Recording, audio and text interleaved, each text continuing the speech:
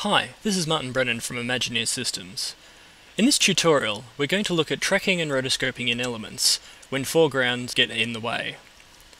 In part 1 of this tutorial, we'll deal with the tracking and rotoscoping parts in Mocha, and then in part 2, we'll look at the workflow for various compositing applications. Okay, so here's the phone inside Mocha. I'm using the full version of Mocha here, but this technique can be used in any of its derivatives, say Mocha for After Effects and Mocha for Final Cut. What we want to do here is track the screen element so we can replace footage into it later. But we're going to have to deal with this finger coming across the shot. I'm just going to briefly show you what would happen if we left the finger alone and just tried to track the screen by itself. So using the X-Spline tool, I'm just going to draw a quick mask around the edge of the screen. This spline layer basically searches in this area for things that change. If I right click a tangent, we can smooth or square all the corners. From this point, if I track backwards, you can see that it locks onto the screen pretty well. However, if I go to the same point and track forwards, the finger starts to come into play. And you'll see pretty quickly that the finger pulls the track right off. This is because it's becoming part of the search area and the track assumes that it has to follow along. So what we need to do is remove the finger out of the equation. So let's just trash this layer. What I'm going to do first is rotate this finger out of the shot. Right here, it starts to cross over where we want to track, so I'm going to start from here. Okay, so selecting the X-Spline tool again, let's create a rough shape around the finger. It doesn't need to be too detailed at this stage, because we only want to keep the finger from ruining the track of the phone screen.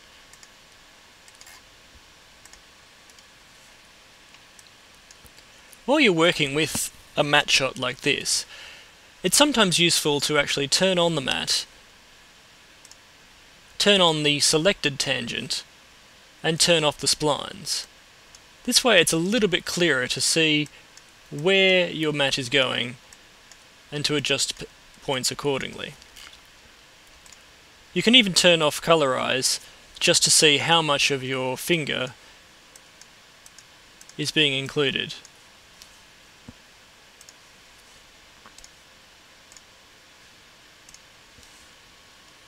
Since we're only working with this uh, layer from frame 30 onwards, we can also go up to our layer properties and type in 30 into the in point. This way the layer only shows from frame 30 onwards.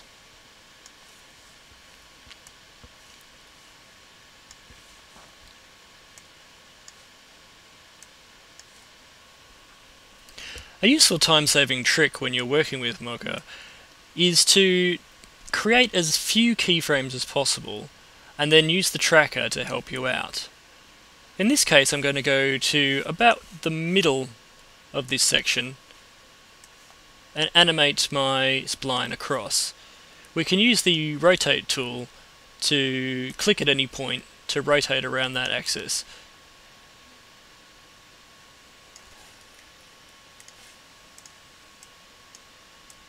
Tweak it a little bit here.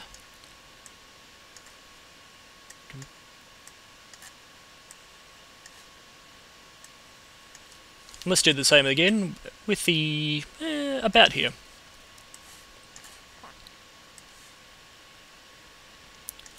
Again, we can use our rotate tool, click at any point, and it will rotate around that point.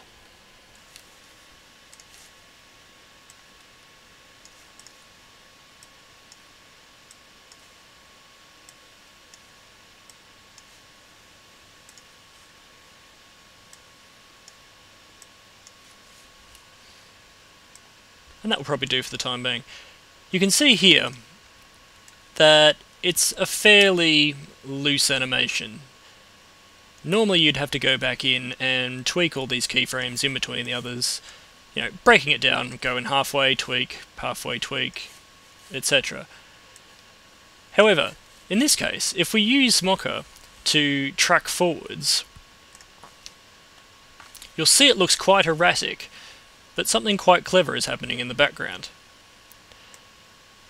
What Mocha is doing is trying to find where you've animated and use the tracker to track the finger in between those points. This saves you a lot of manual work later on, because now we only have to find a few points where it's off and adjust.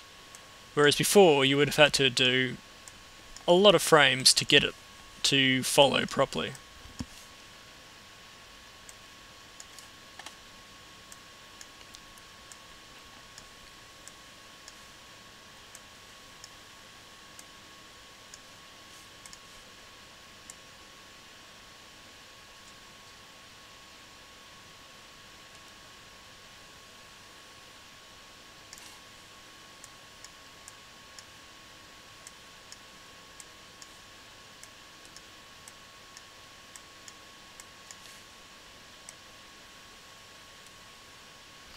We can now go in and track the screen.